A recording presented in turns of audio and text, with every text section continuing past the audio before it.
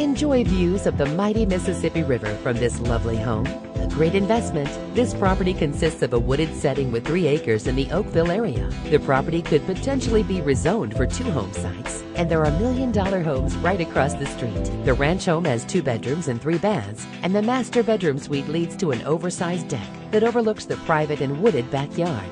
A stone wood burning fireplace is in the living room, and there are sliding doors that open to the deck. This is a great investment. Act quickly and contact Carolyn today.